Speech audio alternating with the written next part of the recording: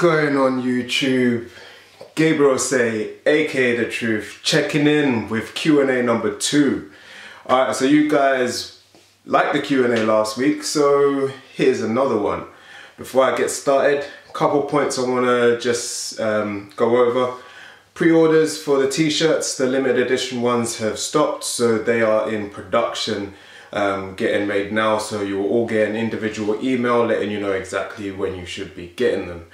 Um, second of all, the new schedule for the channel. Now, I'm quite excited about this. I'm not sure if you've noticed, I've been getting a lot of um, footage up quite regularly. So Mondays is going to be a tutorial.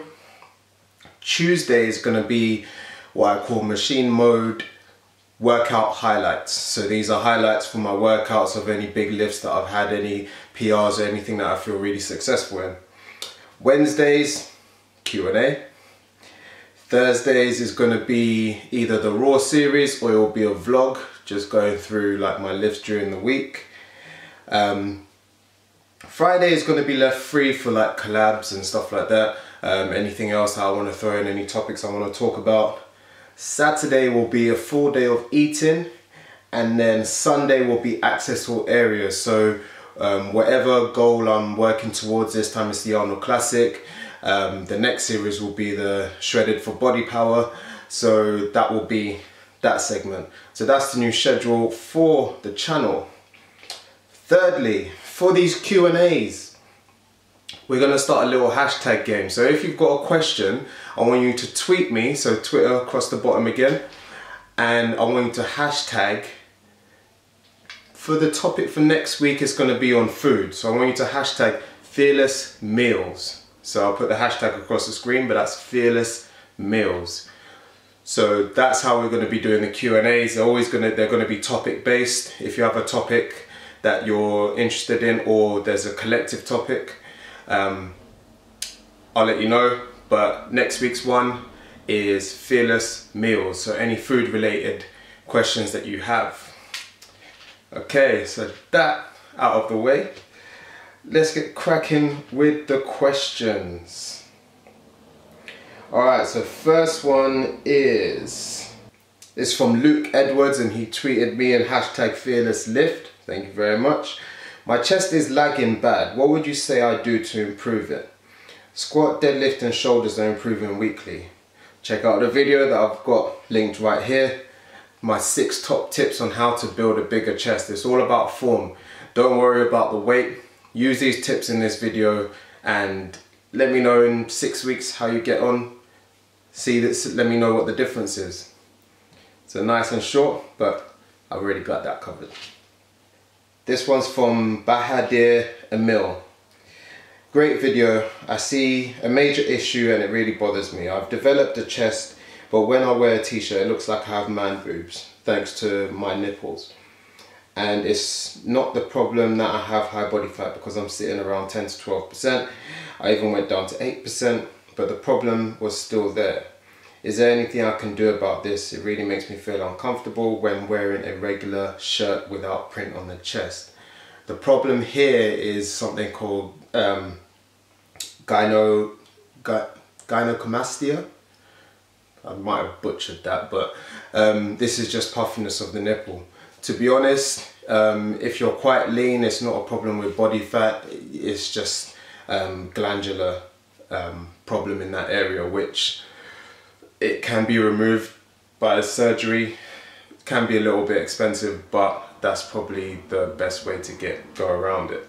Okay, next question is from 2U Flame. Hey, I've been training for 12 months now and I do 12 sets of body part, each body part I hit twice a week and four days of cardio 30 minutes after weights. I count my macros, two, uh, 2,000 calories, 150 grams of carbs which are from sweet potato and burning but the fat is coming off very slowly. What am I doing wrong? I'm fat so I think the fat would come off quicker over 300 pounds. Thanks for your answer. Alright so it might be just ratios protein, carbs and fats, the ratios aren't agreeing with you. So you, you might need to play around with that. it could be that your calories are too low. So in the sen- in if you're over 300 pounds, essentially you could be, you know, almost not starving yourself, but under eating, which can have a neg- neg- uh, negative effect. So first of all, play around with the ratios and then maybe increase the food. Maybe you need more food to be able to work out harder and lift more weights and then burn more calories that way as opposed to restricting the calories so much. Okay, I hope that helps. Okay, this one's from Jaffa Cakes 13. You sir are very good, thank you. Down to earth, down to earth, down to earth Humorous and helpful. Glad you've gained a hell of a lot of subs. Uh, got a question. My bench has plateaued for months now. I've tried different reps, sets, ranges, including shoulder press and tricep work. What should I do? Now, for this, it's more of a case of I, have been through a plateau stage where I then had to do, you know, stuff like floor press, um, stuff starting from a static position. So maybe on a Smith machine, start um, have the rack so it's maybe about four inches above your chest and work on the top half, maybe lower it so it's from your chest, work on the um, bottom half. And what else did I do? A lot of press ups and just really working on time under tension. That's the other thing, key thing. Time under tension, come down really slow, press up really slow, but really focus on squeezing and focus more on that than getting the weight up. And you should start to see an increase and kind of try and break that plateau. Also eat more. That's my answer for pretty much everything. Eat more. okay, next question. Anonymous 29. The teas look amazing. Thank you. Hope you got one. Um, I've been doing strong lifts 5x5 and it's still early days. How long did it take you to see a real change or definition? Um, I took to the training quite quickly and um, I started seeing results fairly quickly. Not sure why, maybe just my genetics, but when I first started lifting, within the first, say, year, I got up to just over 12 stone, starting at just under 11 stone. So um, that first year for me was a huge growth spurt and then it started to slow down after that. Five by fives is something that I'd been doing for a little while so that was kind of like the basis of my training so that did really help because it it allowed me to get quite high up with the weights and then I started working on hypertrophy and stuff. Um, so yeah, it was about a year, a year to see really decent results. Alright, so next question is from Scarface LU1. What are your stats? Height, weight and body fat. And what area are you from? Okay, my height, I am 176, 177 centimeters. I think that's about 5'10". Excuse me. Weight, currently I am 202 pounds. Um, off season, I was sitting around 218, 220 and body fat. Haven't got a clue. I don't tend to measure body fat because calipers don't really do much. They're just used as a guideline. Best way to do is to use one of those pods you know water displacement and all that crap but that's expensive. I don't have that money. So um, if I'm looking at a rough ballpark figure at the moment I'm probably sitting around seven six don't know. Um, I'm just pulling numbers out of the bag. Um, and what area am I from? I'm from South London. Yeah, South London, UK. Um, lived in South London my whole life. Was born in Reading though. Go figure. Um, so yeah, thanks for your question. Okay, and then the next one is from Josh Love. I was meant to answer your question last week. That's my bad. So here it is. Your question is I want to know what you think the best workout routine and if there's any particular food for really barking up the quads and calves.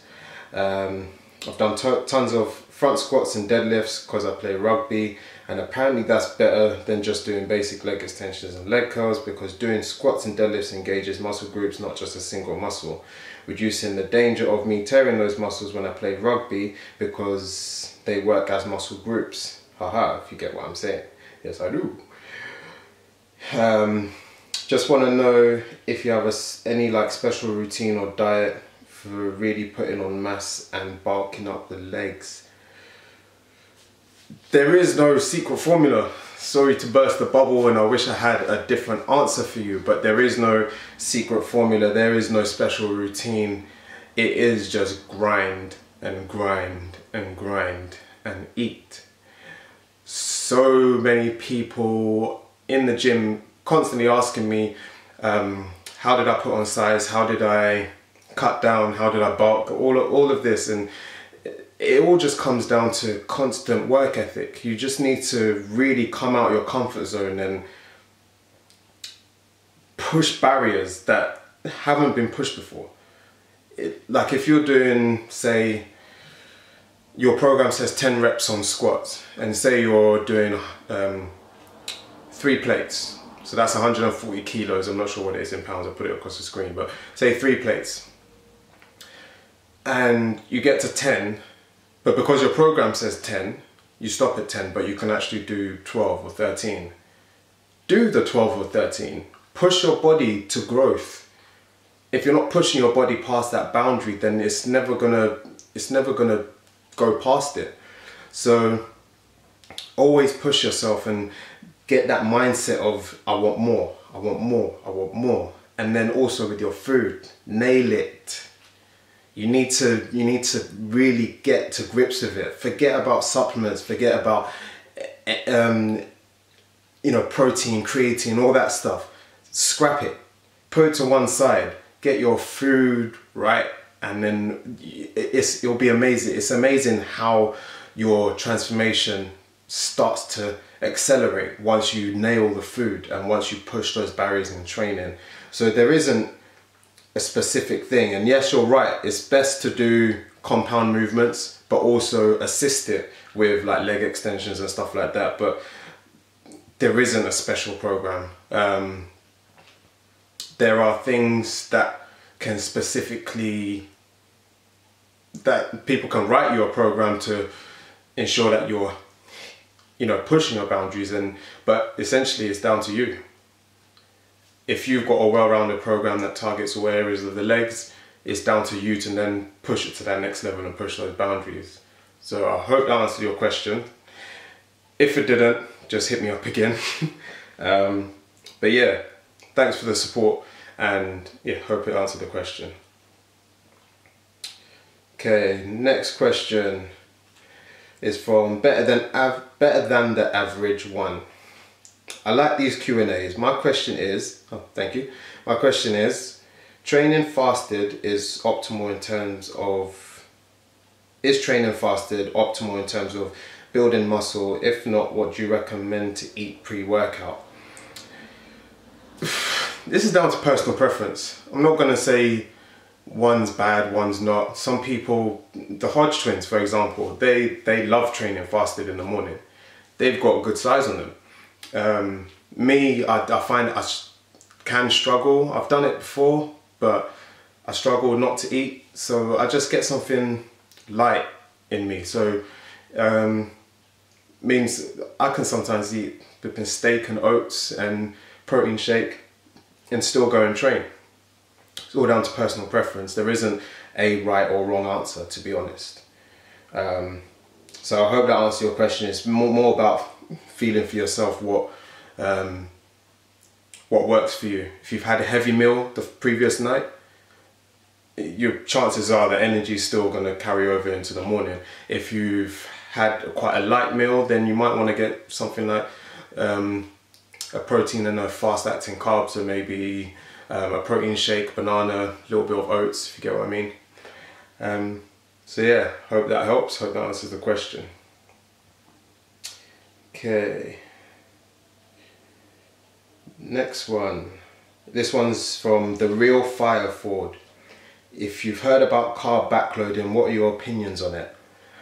After this show, I am going to try it. I'm going to try it for a couple weeks and I'm going to let you know what my moods are, what my feelings are and how I feel it's affecting my body. I can't comment on it because I haven't tried it and I don't want to give any misguided opinions so the best way to do it is to try it and show you guys what happens. So stay tuned for that. Um, uh, next question is from Curtis McNally. What do you think about carb cycling and if leg day falls on a no carb day, would you train them on zero carbs? This kind of falls under the same category as the previous as the previous question um, about training fasted. Down to personal preference. There isn't anything that says so. There's so much you can search the internet and it will just confuse the nuts out of you because you one thing will say train fasted and preserve muscle tissue. The other one will say don't train fasted, it will burn muscle tissue. This one's saying always eat and it's just it's too much. It's too much. So let's switch off all computers. Let's try it. Try both. Try one for two weeks.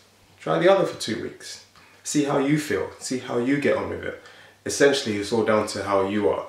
How I feel when I train a certain way isn't going to be the same way that you feel. It's it's all personal preference. So hope that answers the question. Okay, and the final question is from Levi uh, Noah. Sorry if I said the name wrong, but hey Gabriel, I heard people say it's not good to eat too many eggs in a day. However, I see a lot of bodybuilders eat tons of eggs because it does have a good source of protein. Could you give me your take on that and what is considered too much? Okay, big thing on eggs. Um, the thing with eggs is you you don't want to have too many of the yolks. That's that's where the that's where the problem lies. Egg whites are fine, it's just protein. There's no carbs, there's no there's no fat, it's just protein. So there's no problem with that. The problem is where you have the saturated fats in the yolk. Saturated fats aren't bad, everything in moderation. You don't want to be having too much saturated fats, all from eggs and stuff like that. You can't have like 20 hard boiled eggs a day. That's a, a lot of saturated fats. So you you know, if you're having, depended on your size, if you're having three, four, one, two, it's, it's not a problem. Just don't overdo it with the yolks. Have as many egg whites as you want. A lot of bodybuilders eat lots of egg whites because it's, it's fast, it's easy, it's cheap. Um, so I hope that answers the question. Don't go nuts. Don't eat too many yolks. My mom used to say that I'd turn yellow if I eat too many yolks. Still brown. All right, so that concludes today's Q&A. Like I said at the beginning of the video, I hope you like the new schedule. Those for the limited edition t-shirts, you will receive emails very soon. And next week's Q&A is all about food. Any food related questions that you have, keto, um, high carb, low carb, um, carb cycling, all that kind of stuff, let me know via Twitter. So my Twitter shown across the bottom and hashtag fearless meals. That's fearless meals and I will get those answered for you next week. So don't forget to subscribe, like, comment, share, and until next time, peace.